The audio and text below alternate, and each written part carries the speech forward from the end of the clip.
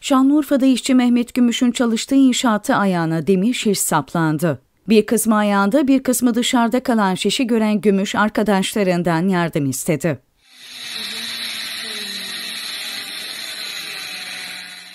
İhbar üzerine olay yerine sevk edilen ambulansa yaralı işçi Mehmet Akif İnan Eğitim ve Araştırma Hastanesi'ne kaldırıldı. Yaralıya müdahale eden doktorlar şişin çıkarılması için itfaiyeden yardım istedi. Tamam, tamam. Hastaneye gerekli malzemeleriyle giden itfaiye ekibi yaklaşık yarım saatlik çalışmanın ardından şişi işçinin ayağından çıkardı. Gümüş itfaiye ekiplerine teşekkür etti.